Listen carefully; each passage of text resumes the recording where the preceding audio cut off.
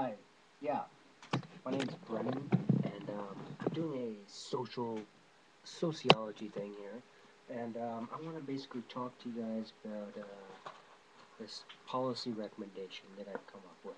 Um, it's about um, basically about geographic um, policy in childhood.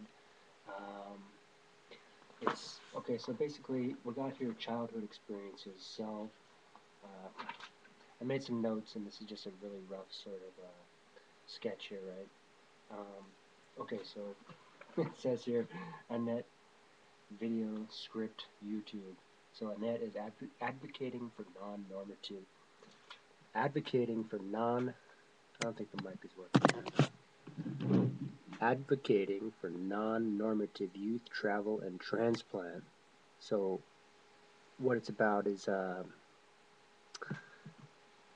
it's okay so i have basically a bunch of experiences and observations that uh, make the whole thing rather clear um, so when i was growing up i realized that i'm left-handed i grew up in california they called me et phone home because i would i would make this point you know i was like uh, uh, like john vasconcellos the social vaccine. This is my blog name. I use that um, okay so basically what you have is um, people like Jimi Hendrix, Kurt Cobain, and these guys are left-handed and they grew up, they're true left-handed, not like a president left-handed, that would be ambidextrous. These people, you know, there's a difference between ambidexterity and monodexterity, or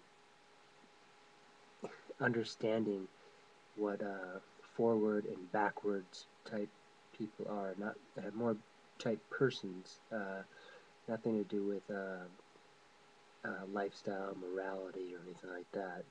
Just purely a genetic, um, like, okay, so contrasting Jimi Hendrix Kurt Cobain would be Paul McCartney, Phil Collins, Bruce Willis, uh, Charlie Chaplin. Uh, these guys are all left-handed, and they grew up not in West America, nowhere near West America. They all grew up along the Atlantic uh, seashore, which is basically the British seashore, the, you know, the Irish seashore. Um, okay, and so now uh, we have um, of, these are like actual case studies, but then you have sort of fictionalized or actual fictional. For, for instance, um, Into the Wild, this movie about this kid. He grew up on the west, on the east coast. Okay, so the Atlantic coast, or pretty close there. Um, and he goes out west, and he just is like has no connections.